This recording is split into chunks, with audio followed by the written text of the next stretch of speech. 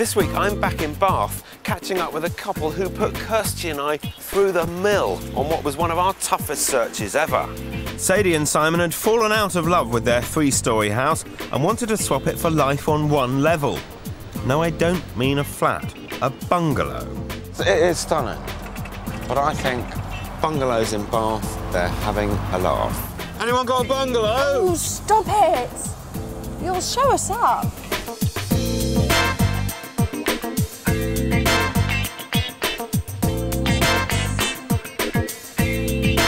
Sadie and Simon had sold their gorgeous Georgian townhouse, but they'd got only three weeks until they and their three kids were going to be homeless. But in a town famous for its grand architecture, it was no surprise that after 12 months of searching for a bungalow, they still hadn't found the right place. Sadie buys and sells vintage clothes, and if that wasn't enough, she also looks after Ruby, Kizzy, and Billy at home. The three story house in Bath just wasn't practical for their needs. There's no downstairs toilet, which I know doesn't sound like the end of the world, but when you've got three youngsters, I'm constantly running up, up and downstairs with one of them. There's no utility room, there's no playroom for the kids, so, you know, the lounge is constantly full of toys. And the space was no longer practical for Simon either. He's a composer and wanted to work from home, but living in a terrace made this impossible. Instead, he rented a studio nearby but they weren't quite ready to sacrifice everything for single story living. I think our challenge this week is actually to make sure they realise what a pickle they're in. You are being shoved out onto the doorstep in three weeks' time. So, frankly, things you might have discounted previously are going to look a bit better than they did before. I'm not so sure. I don't know. I mean, we've sold a lovely house, a lovely home. I'm not going to buy something that I don't love. We're prepared to look at, you know, any options, and, and if you throw something our way that we would maybe haven't considered in the past, then you know, all well and good. Um, whether we'll like it or not is another matter. I'm speechless. No wonder these guys have been searching for so long. There doesn't seem to be much movement in their brief whatsoever. I was thinking they were up you know what creek without a paddle. In fact, it's us that's up the creek without a paddle. Sadie and Simon want a four bedroom period bungalow in Bath with a huge garden and an outbuilding that can be converted into a studio, all for £440,000. But as we know, bungalows are rare, and as this move is all about finding a livable layout, we're not going to shy away from showing them houses where the space works just as well. Whenever you're looking for an unusual property, you've got to go the extra mile. Now, there were 40 estate agents in Bath, and we're in touch with every single one of them. But more than that, we've checked private sales ads, websites, we've leaflet dropped, we've spoken to architects, to planners, to builders. There is no stone left unturned in this city, but I'm afraid our shortlist is still very, very short. There's no getting away from it. This search has been a nightmare. But we've managed to find them a bungalow that's already had its attic space converted. It's in the village of Box, slightly outside their preferred patch, but we've had to trade location for single story style. Simon, what's your views of being in Box? It would be right on the edge of where we'd like to live. But you understand that we've come six, seven miles out of Bath in order to find the plot size. What's going through your mind? Um, Retirement house. Ho ho, that that is rich coming from you. You wanted a bungalow. I'll give a retirement home. This bungalow is pretty bang on for my mind. There's a sunny lounge, brand new kitchen, family bathroom, and four large bedrooms. And there's a huge garden with fabulous views. It's on the market for £415,000. First things first, front room. Now, Phil and I are slightly knocked back by. We thought you'd be more enthusiastic. Right. And we're a little disappointed. But we're going to soldier on because we're that kind of people. I'll take this room, for example. If that fireplace wasn't new, which I suspect it isn't, absolutely not. Mm. You could immediately yeah. replace it, yeah. sure. and those windows can really, really be immediately replaced. Yeah. Does that make it a bit cheerier? I think we'll. We need to see. You go, you and have an explore. Okay. okay. Yeah. She looks really miserable and upset. She looks really upset, and I was so thinking she'd love this house.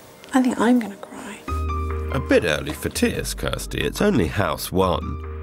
On paper, this bungalow has everything they've asked for, and they could move in straight away. Perfect for a soon to be homeless family. Surely the amazing upstairs will swing it. So this um, loft extension was put on two years ago. Oh, right. I think they've done a very good job. They've got Oh, this is sweet. two good-sized bedrooms. Yeah. Both the rooms have got these ensuite bathrooms.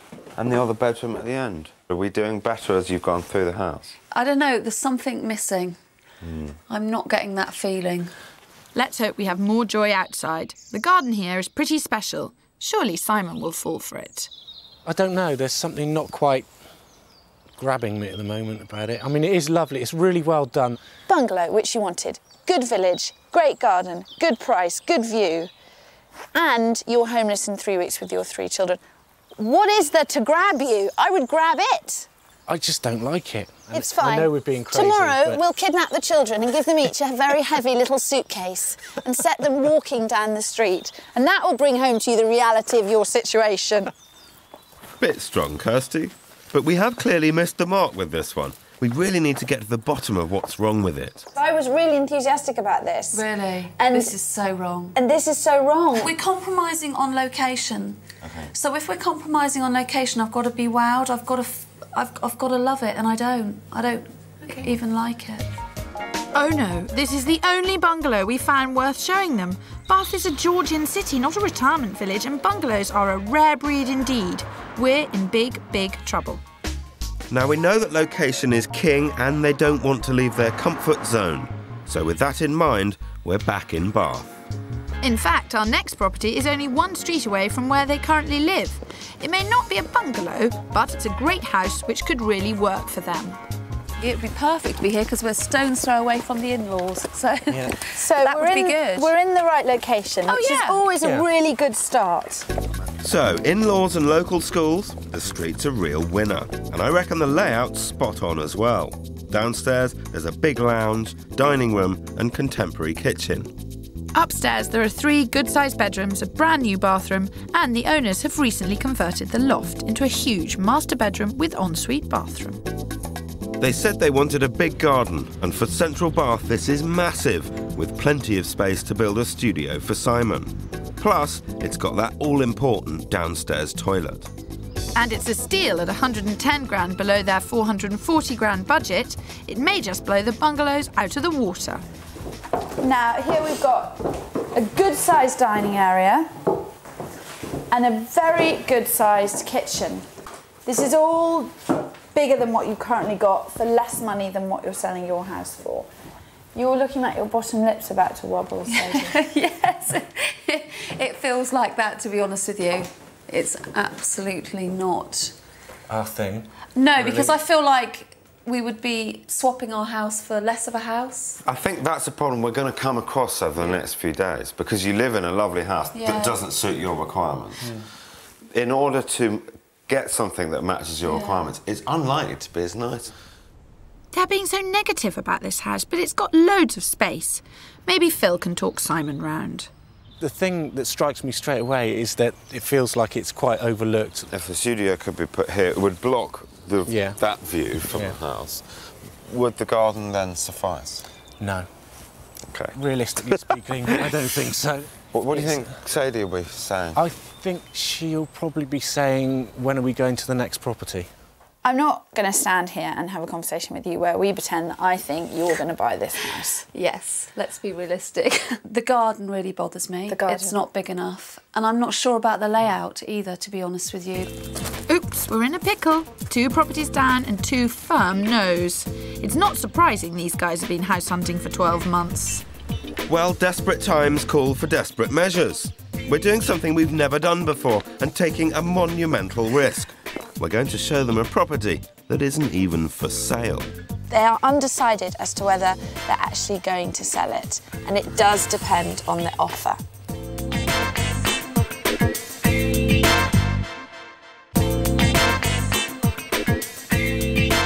Back in Bath revisiting a couple who'd wanted to swap their Georgian townhouse for a one story bungalow. But it seemed like both luck and the property market were against us. I feel like we would be swap, swapping our house for less of a house? I just don't like it. We've gone on and on and on and on at the agents for weeks now, and it seems like it might just have paid dividends. A few of them mentioned a bungalow that they'd valued six months ago within Sadie and Simon's budget.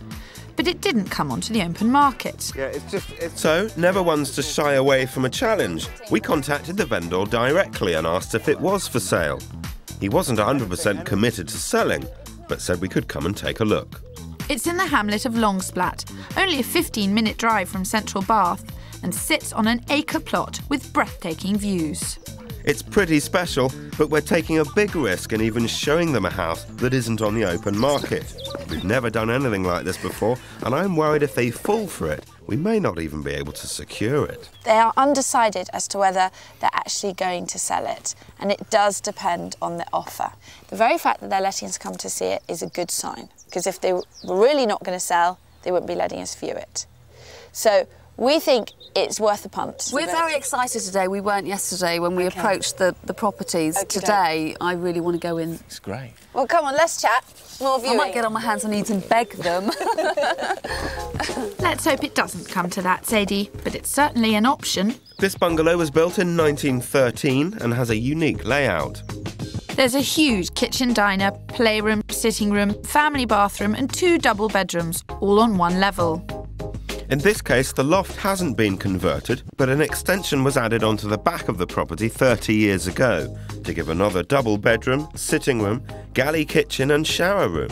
It needs updating, but space wise, it's perfect and was valued six months ago at between 350 and 450,000 pounds. This is the second bedroom here, which Right. is a nice big size. right, And family bathroom in here right. with separate shower. Okay. Needs a bit of an update. Yeah. And then coming through here, what we've got here is a little area that I think you could kit out as a playroom because through here is what you're going to want to have as a big kitchen family room. Yeah. Well, the key to yesterday's rejections was the garden, but this one is an absolute stunner. Wow, it's absolutely beautiful. There is Breathtaking, I would say. breathtaking will Yes. do. breathtaking will do. Simon's number one priority was room for a music studio, and this place doesn't disappoint with a double garage ripe for conversion. It's fantastic. It's an acre plot. It's I, one I really, acre. I don't know what to say. It really is. No, it's absolutely perfect. Simon, can you see Perfect. yourselves living here? Yes, Oh, now. without a shadow of a doubt. Obviously, it's not on the open market, so it's not as though we're saying, here's a package. That's the problem No. with this one, isn't That- it? that is the problem. that's the is- problem. we seem to be good at this, Yeah. this sort of thing. The only thing missing from this property is the uh, for sale sign outside, which is slightly worrying. Yes, that is a worry, and it's one that needs addressing. Hiya. Right, we ready to roll? Absolutely. Yeah, we love it. Absolutely love it, but we're kind of reluctant to fall in love with it too much, just in case. Wise move. Yes. Very wise move. It's fantastic that they've fallen for it, but I'm glad they're being realistic, as there's every chance we may not be able to secure it. Let's face it, they're homeless in three weeks, and we need to keep on searching. And we found a one off. It may not be a bungalow, but it's an absolute dazzler. And there's a for sale board outside. Sadie and Simon are looking for something unique, and this doesn't disappoint. It's a fabulous double fronted cottage with a massive garden, bang in the centre of Bath. All this, and it's under budget. What more could they ask for? The best way to appreciate this house is from the rear garden. It's fabulous, and I want it to be the first thing they see, so I'm not taking any risks. Close your eyes. Okay. Close it. seriously. Yes. Has this ever been done before? No, never. This is the Okay, first. Cool. Now, turn to your uh, left, left, left, right. Okay, you can open your eyes now. Oh, lovely garden. Lovely garden. Yeah. Now, Sadie, you just have a walk up those steps behind you. Oh, wow. It's an upside down house. It certainly is. It's quirky and so them. On the ground floor, there are three characterful bedrooms and a family bathroom. Whilst upstairs, there's a fourth bedroom that they could use as a playroom, a rustic kitchen, and an amazing open plan sitting room. This house is spectacular, and I know they're just going to love it. So this is classified as their lounge, I guess. This, yes, Right. exactly. But this is just family lounge. Yeah. And I mean, the view is just something else. It's very unusual. It's, It's amazing. totally unusual. I'm, Yeah. I've very rarely seen anything like this. I'm nuts about this house. And this kitchen is lovely and very much more up your alley than any kitchen we've seen. I really like it. I do really like it, but I don't think Simon will want this. Really? Yeah. He won't want that busy road. The one thing that strikes you straight away is the, the main road outside. But you you wanted to live in central Bath, where the roads would be bigger. We there'd want be everything, traffic. don't we? We want everything, and we're not going to get everything. I know. You said gonna- it. Oh dear, I'm getting that sinking feeling. It's absolutely lovely, and hmm. five years ago we would have had it like that. It's lovely, Nooks and crannies. lovely It's quite- house. You know what? I think it? all this Very is quirky, balls. Too quirky. It's all balls. this is a great house. Yeah. It's not for you. No. The house you want was the one we found Yes. this morning. We've got to make sure that's A, for sale, Yeah. B, Would help. can be purchased at a price that you can afford, Yeah. and C, work out how you can alter that house to make it suit you. There's no getting away from it. The bungalow has blown them away. But this is no simple option. No matter how much Sadie and Simon love this house, there are no guarantees that the owner will sell. And it's our job to keep their feet firmly on the ground. It is lovely. It is absolutely beautiful. I just don't want to think about it too much. because if we don't get it, this one's going to be hard. Very hard. This isn't straightforward. I need to speak to the owner to see just what the situation really is. I love this spot hmm. and I don't really want to go. Hmm. But if somebody made me the right offer, then I would probably have to accept it. Hmm. Understood.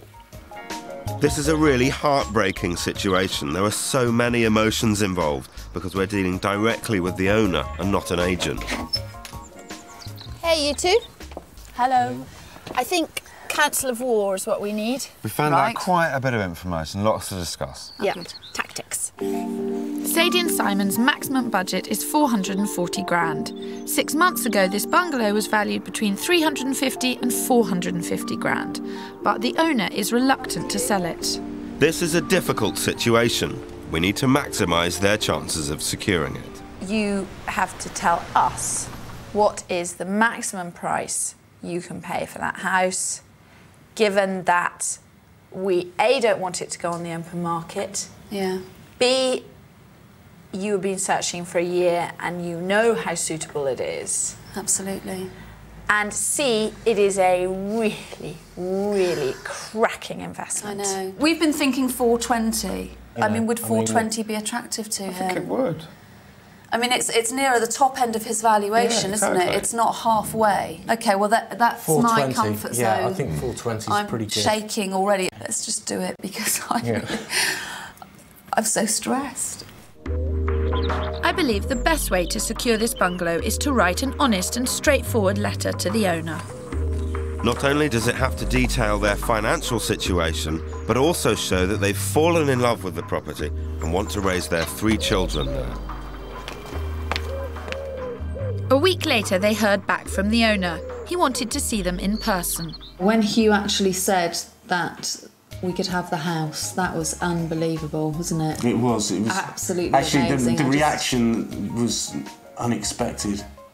I mean, Yeah. you burst into tears, Thank didn't you? you, Simon. yes, I did, all- which is very was- unlike me. But I just, I just felt really, just, I suppose, relieved. Do you know what I mean? Because we, re- we wanted it so badly. I wanted it so it was badly, unbelievable, the feeling. and it, yeah, it was amazing. We were just in seventh heaven.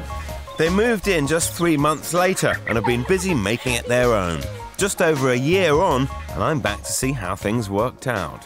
Sadie and Simons was one of the most stressful searches we've ever undertaken. This was the only suitable house within a 20 mile radius, and it wasn't even for sale. So there was a lot of blood, sweat, and tears spilled. I'm dying to see whether it was all worth it. Hello. Sadie, good morning. How are you? Very well. Good to see you. Yeah, you too. How are you doing? Come on in. Sadie and Simon have wasted no time putting their stamp on this house. But has it all lived up to expectations? Oh, and more, oh, definitely. Unbelievable. Yeah. Unbelievable. Every day, I just think I can't believe we've got this place. I can't. Believe And what it. is it? It's The change of lifestyle? It's just the peace and the quiet and and the kids out in the garden and you know going Oh, walking in the life Riley, countryside. aren't yeah, they? I it's mean, unbelievable. just- I've often thought even if we won the lottery, I wouldn't want to move. With this setting, it's easy to see why. What's more, they've transformed this dated bungalow into a chic country home. The kitchen has a fab retro feel, and the once cluttered study is now an open playroom for the kids. Sadie's got her wish, with not one but two loos on the ground floor. The back of the house has had the most incredible change, where four rooms have been knocked into one huge living space. Oh, Sadie, big changes in here. Yep. Spectacular. We got there in the end. Did you do the actual work yourselves? Yep. All of it. What, you and Simon, hammers and chisels? It was hard work, Yeah. really hard work. Yes, many Yeah, late nights and yeah, But you were Um, presumably both still trying to work from home as well. yeah, yeah. You have had a busy year. Yeah. you? yes, we have. It's been a tough year. Yeah, which is why we've we've sort of finished this part of the house, and we think we'll leave that for a few years now. Yeah. We can live with the bedrooms, and uh, Yeah. you know we're going to leave that for a Yeah. while. And just Wait for yeah. motivations Just to enjoy return. the house. The house was perfect, but it was the garden that they really fell in love with. You've got everything flowers, raspberries, artichokes, potatoes. It's and it's you know every night fresh fruit and veg.